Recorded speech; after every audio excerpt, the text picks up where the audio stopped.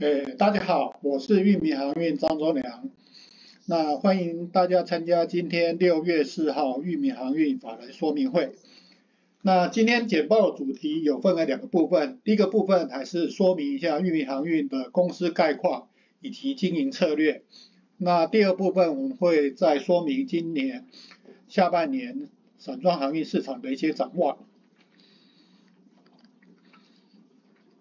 那首先还是跟大家报告一下今年二零二四年第一季玉米航运营运以及财务状况。那今年第一季 BDI 运价指数平均是一千八百二十四点，比二零二三年第一季同期的一千零一十一点，那增加了百分之八十。那玉米航运的一个营收也随着 BDI 指数的一个上涨，第一季的营收三十八亿四千五百万元。那比去年同期的二十八亿五千七百万元成长百分之三十四，那营业净利八亿八千七百万元，也比去年同期那增加百分之一百九十，税后净利九亿八千八百万元，那比去年同期的四亿九千四百万元啊增加百分之百。那接下来 update 一下玉米航运的目前的一个营运船队的一个规模。目前自有船舶以海峡型营运为主，呃，海峡型船队为主。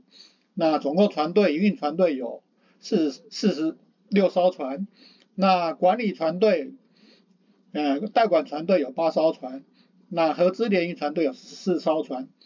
总共目前的营运船队目前是六十八艘船。那新船订单目前有四艘，这个六万四千吨的一个轻便型船舶，预计会在今年下半年以及明年上半年交付。那裕民也设定了未来长期船队的一个成长目标，预计会成长到一百艘船以上，以及一千万吨载重吨的一个呃双成长目标。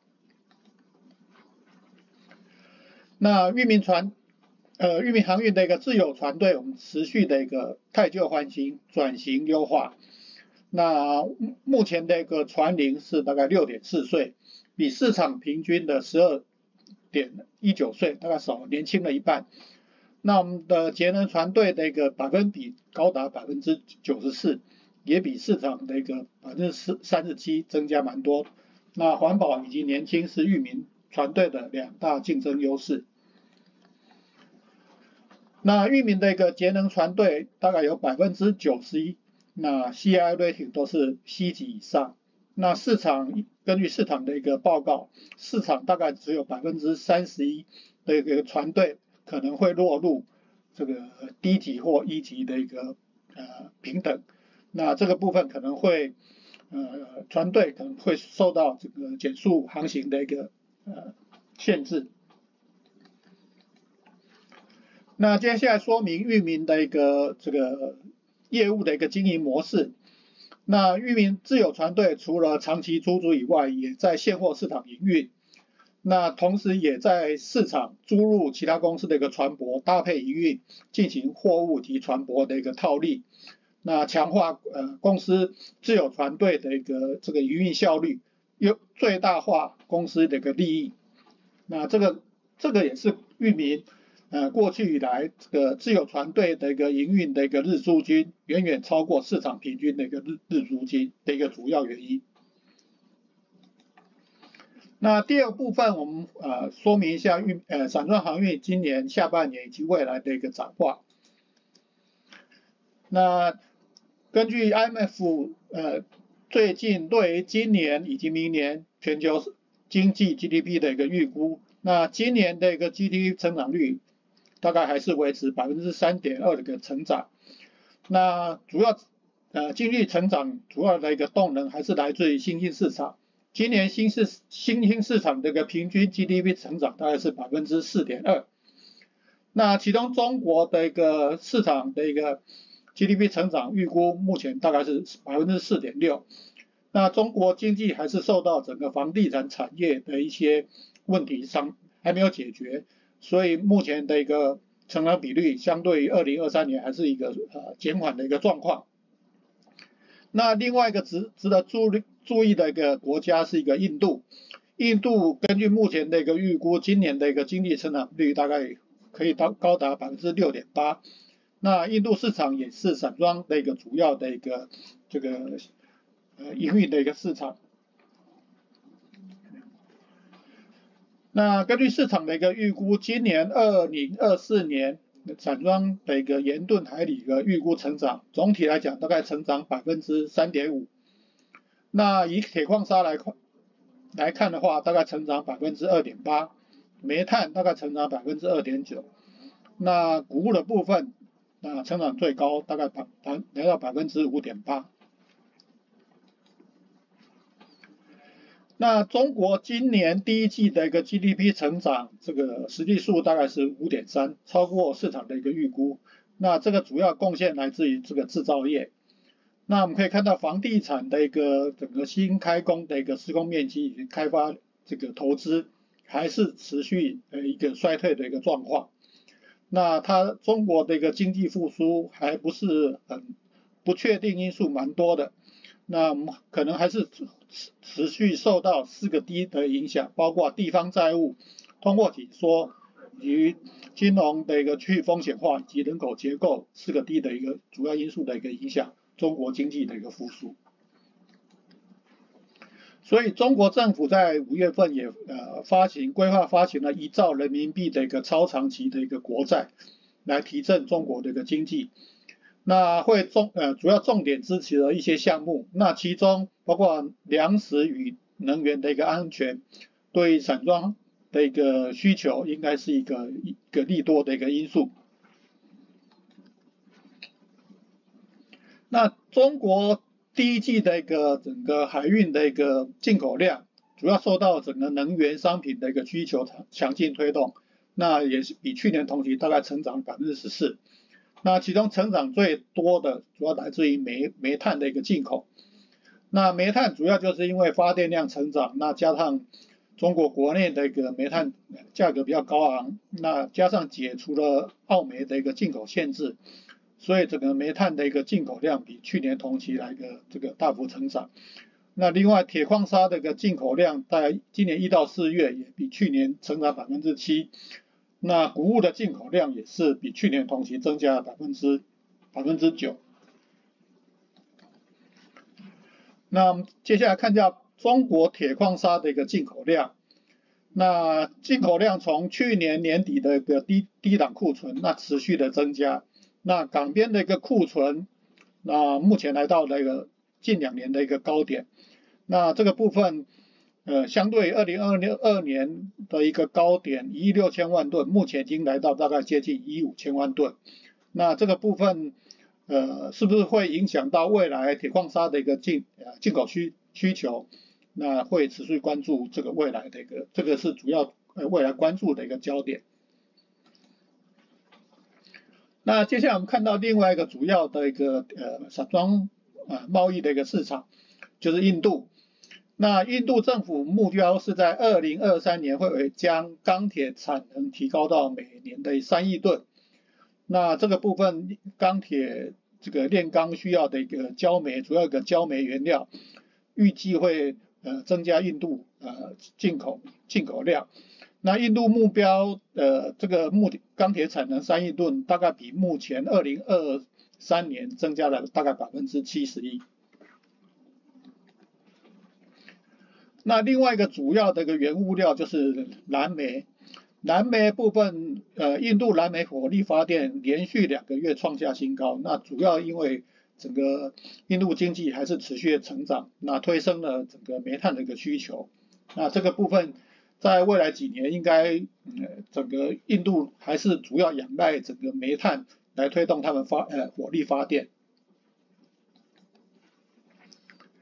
那根据世界钢铁协会呃对于二零二四年钢铁需求的一个预估，今年大概需求成长大概成长百分之一点七，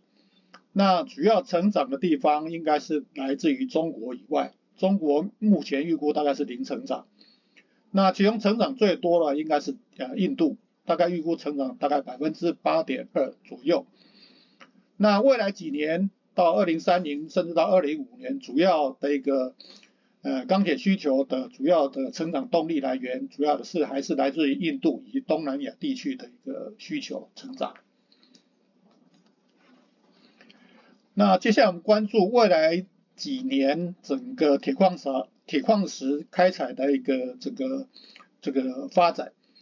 那关注到目前呃未来目前新兴的一个铁矿石呃开发计划，主要是来自于西非这个几内亚西芒度铁矿石的一个开采计划。那这个预计在二零二五年年底会第一批货会呃正式这个出口。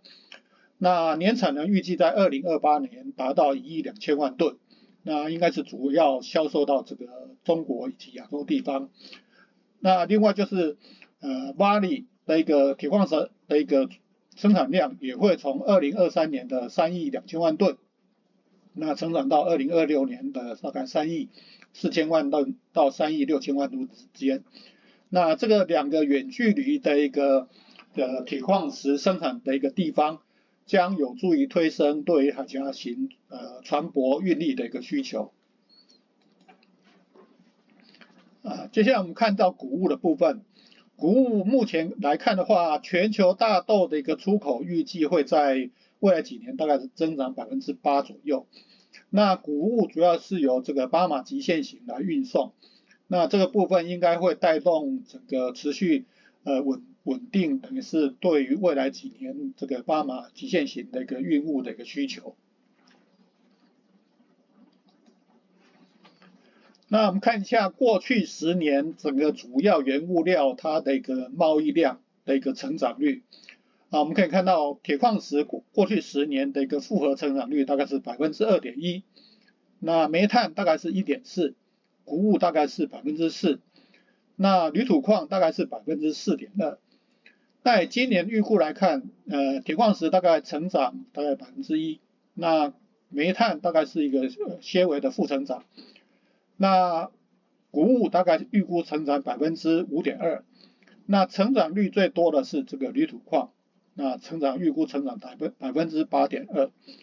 那鱼鱼骨矿这个主要的一个贸易主要是来自于也是来自于几内亚，那出口到这个中国，那这个部分。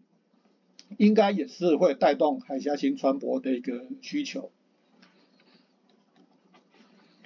那接下来我们谈到整个散装船的一个供给的一个部分。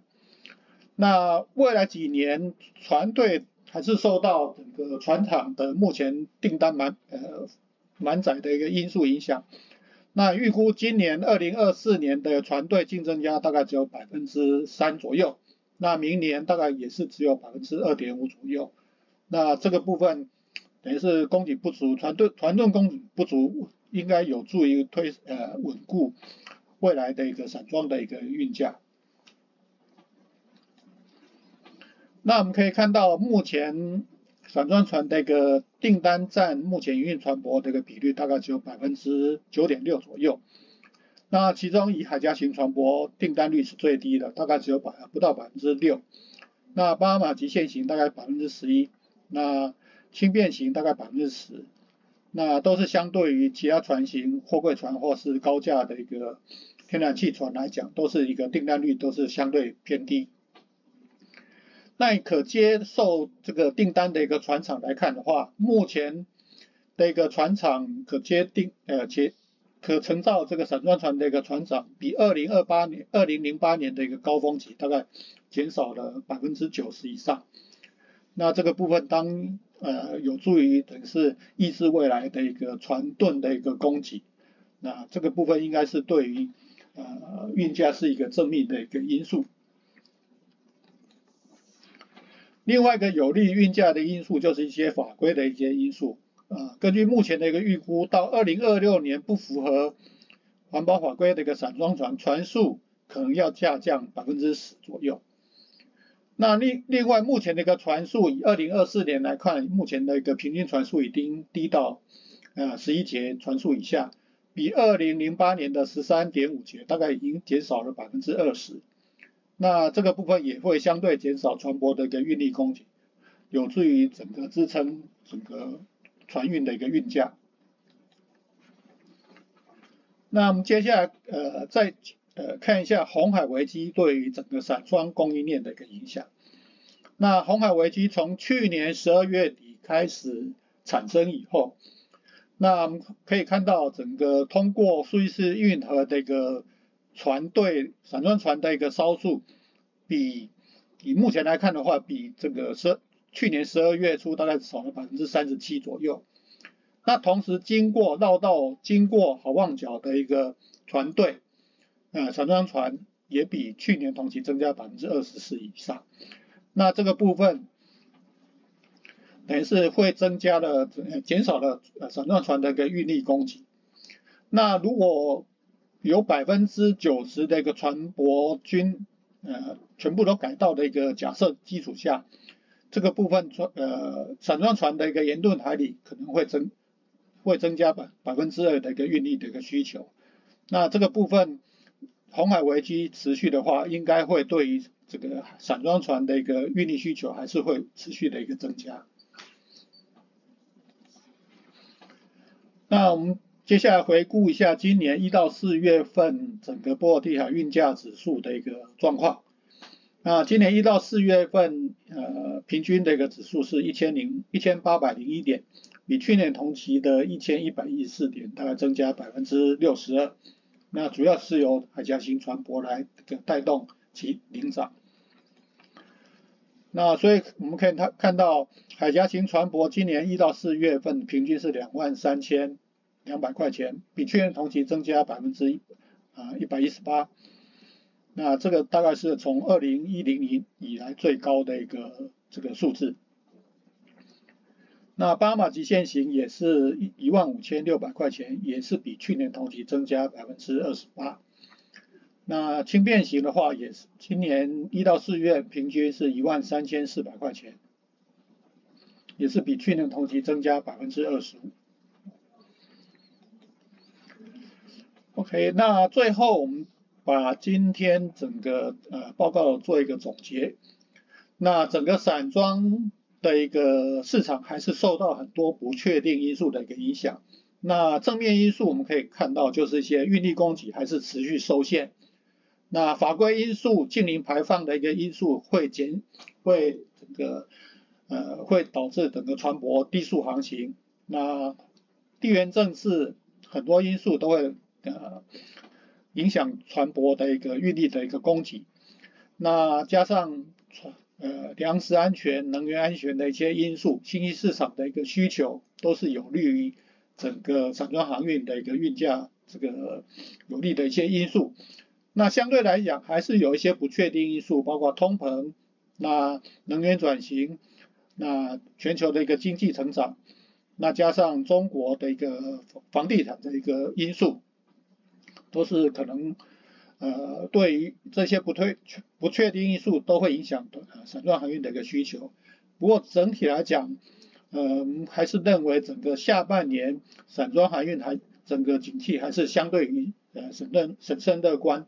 对于未来下半年的一个运价，还是嗯还是持续看好整个呃散装航运下半年的一个运价。那以上大概是今天呃法人说明会的一个这个简报的一个说明。那接下来我们进行呃 Q&A，谢谢。